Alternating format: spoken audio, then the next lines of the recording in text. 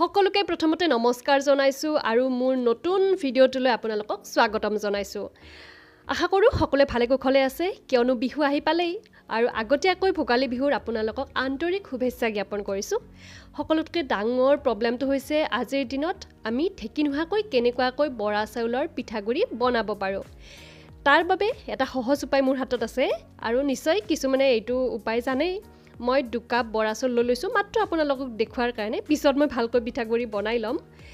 সেইখিনি প্ৰথমতে ধুই লৈছোঁ ভালদৰে আৰু তাৰপিছত দুকাপ বৰা চাউলত মই দিছোঁ দুগিলাচ পানী। আচলতে পানীৰ কোনো পৰিমাণ নাথাকে কিন্তু চাউল যিমানখিনি লয় আপোনালোকে তাৰে ওপৰলৈকে পানীখিনি অহালৈ অহা হিচাপত আপোনালোকে তিয়াই ৰাখিব। এতিয়া চাওক যদি আপুনি ঢেঁকীত পিঠাগুড়ি খুন্দে তেতিয়াহ'লে পাঁচ ঘণ্টামান সময় তিয়াই থ'লে হৈ যায়। পাঁচ ছঘণ্টামান সময়। কিন্তু এইখিনি মই মিক্সাৰ গ্ৰাইণ্ডাৰত খুন্দিম হয়। সেই গতিকে মই দুইৰ পৰা তিনি ঘণ্টা সময় তিয়াই ৰাখিম। আঢ়ৈ ঘণ্টামান সময় তিয়াই ৰাখিলে হৈ যায়। ঢাকনি ৰাখি থৈ দিছোঁ। আচলতে বৰ্তমান সময়ত ঢেঁকীৰ খুবেই মানে নাটনি হয়। সেই গতিকে মিক্সাৰ গ্ৰাইণ্ডাৰটোত গ্ৰাইণ্ডাৰত পিঠাগুড়ি বনাব পাৰি। কিন্তু অকণমান সাৱধান হ'ব লাগে। এতিয়া এটা খৰাহী লৈ লৈছোঁ। পানীখিনি মই তলত পৰি যোৱাকৈ ৰাখি দিছোঁ। এইখিনি চবেই জানেই যিহেতু গতিকে বহুত বেছি বহলাই কৈ থকা নাই। এতিয়া চাউলৰ পৰা সম্পূৰ্ণ পানীখিনি নোহোৱা হৈ যাব লাগিব।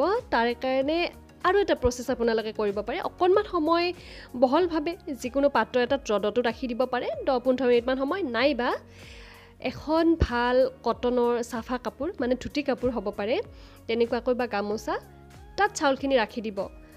আৰু তাৰপিছত এনেকুৱাকৈ বহল বহল কৰি ৰাখি দিব চাউলখিনি আৰু তাৰপিছত মচি ল'ব। কেনেকুৱাকৈ? মই আপোনালোকক দেখুৱাই আছোঁ ৰ'ব।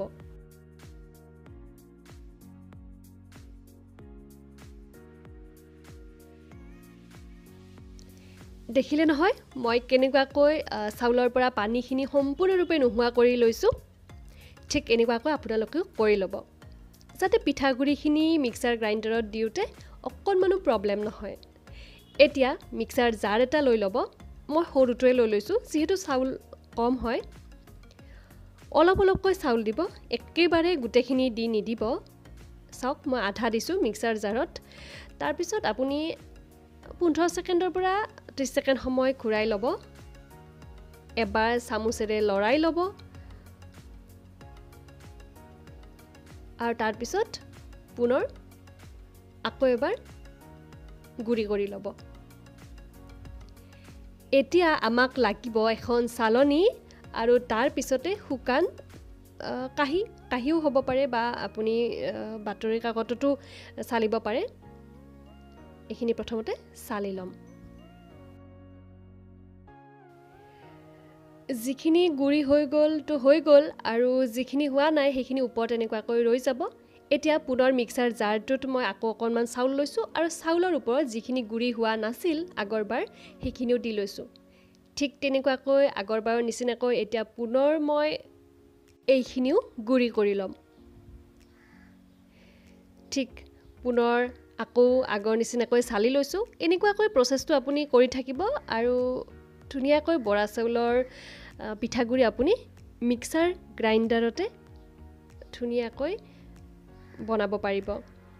এতিয়া চবতকৈ ডাঙৰ কথাটো হৈছে এই যিটো বৰা চাউলৰ সেমেকা ভাৱ সেইটো আঁতৰি নোযোৱাৰ কাৰণে এনেকুৱাকৈ আমি প্ৰেছ কৰি কৰি দিব লাগিব যাতে ভিতৰত বায়ুটো সোমাই নাযায় মইশ্চাৰ হৈ থাকে যাতে চাউলৰ গুড়িখিনি আৰু তাৰ বাবে আপুনি ফ্ৰিজতো কিছু সময় ৰাখি দিব পাৰে যেতিয়ালৈকে আপুনি পিঠা নবনায় তেতিয়ালৈকে আপুনি ফ্ৰিজত ৰাখি দিব তেতিয়া ধুনীয়া হৈ থাকিব পিঠাগুড়িখিনি আৰু পিঠা উঠোৱাত কোনো প্ৰব্লেম নহ'ব। এইখিনি নিয়ম আপুনি কৰি চাবচোন।